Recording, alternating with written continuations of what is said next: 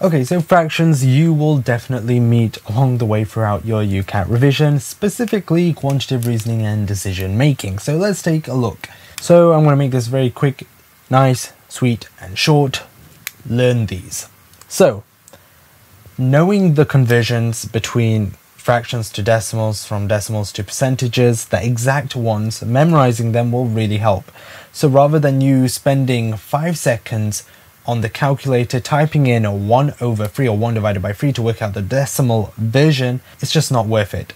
Rather, you would memorize them and you will definitely be using some of these throughout the exam. So you could say, oh, the price was reduced by one third.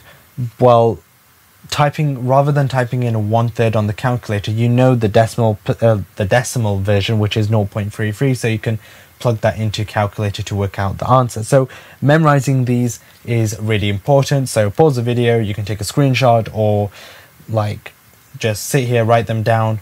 Writing them down will definitely help you memorize them rather than just reading it from the top of your head, writing it down, reading what you read and doing that repetitively honestly will help you memorize it a lot more quicker. So feel free to do that and then that's pretty much it. That's pretty much it for fractions. If you are happy with these, then they aren't really that bad.